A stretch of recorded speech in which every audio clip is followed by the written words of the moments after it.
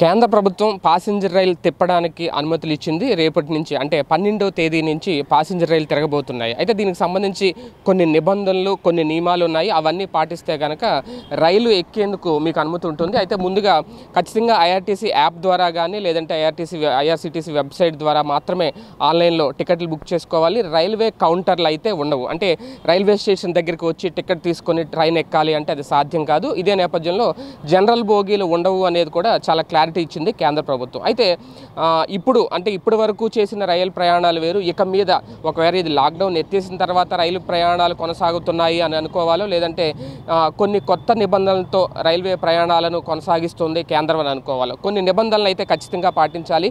అది కూడా ముందు మీరు ఆన్లైన్లో టికెట్ బుక్ చేసుకున్న తర్వాత అది కన్ఫర్మ్ అయితే మాత్రమే మీకు రైలు ఎక్కేందుకు అనుమతి ఉంటుంది ఒకవేళ కన్ఫర్మ్ కాకపోతే అది వెయిటింగ్ లిస్ట్లో ఉన్నా లేదంటే ఆర్ఏసీలో ఉన్నా ఎట్టి పరిస్థితిలో స్టేషన్ కూడా రావాల్సిన అవసరం లేదు.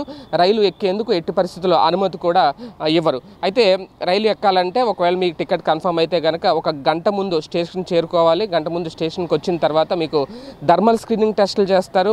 అవసరమైతే కరోనా టెస్టులు కూడా చేస్తారు. ఆ, తర్వాతే రైలు ఎక్కేందుకు అనుమతిస్తారు. మరి ఇంకొక నిబంధన ఏంటి అంటే ఖచ్చితంగా మీ స్మార్ట్ ఫోన్లో ఆరోగ్య సేతు యాప్ ఖచ్చితంగా ఉండాలి. అదే నేపథ్యంలో బ్లూటూత్ లొకేషన్ కూడా ఆన్ చేసి ఉండాలి. అది ఆ రెండు లేకపోయినా సరే రైలు ఎక్కేందుకు అనుమతించరు. ఒకవేళ థర్మల్ స్క్రీనింగ్ టెస్ట్లో ఒకవేళ మీకు టెంపరేచర్ ఎక్కువ ఉన్నా ఒకవేళ మీలో కరోనా లక్షణాలు ఉన్నా ఖచ్చితంగా తిరిగి వెనక్కి పంపించేస్తారు.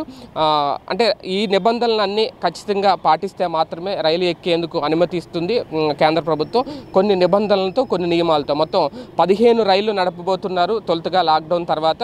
తెలంగాణ నుంచి అలాగే హైదరాబాద్కు హైదరాబాద్ నుంచి ఢిల్లీకి రైళ్ళు ఉన్నాయి కానీ ఆంధ్రప్రదేశ్ నుంచి ఇంకా ప్రత్యేకంగా రైళ్ళు ఉన్నట్టయితే ఇంకా అనౌన్స్ ఏం చేయలేదు. దానికి సంబంధించి ఒక అధికారిక ప్రకటన అయితే రావాలి. మొత్తానికి ఒక పదిహేను రైళ్ళతో తొలిసారిగా లాక్డౌన్ తర్వాత ప్యాసింజర్ రైళ్ళకు అనుమతిస్తూ కేంద్ర ప్రభుత్వం ఒక నిర్ణయం తీసుకుంది. ఒక రకంగా ఇది ఒక పెద్ద రిలీఫ్ అనే చెప్పాలి. ఇతర రాష్ట్రాల్లో చిక్కుపోయిన ప్రజలకు కానివ్వండి లేదంటే లాక్డౌన్ నేపథ్యంలో దాదాపుగా నలభై నుంచి యాభై రోజుల పాటు ఎవరైతే వేరే ప్రాంతాల్లో చిక్కున్నారో వాళ్ళందరికీ ఇది కాస్తంత ఊరటనిచ్చే అంశం అనే చెప్పాలి.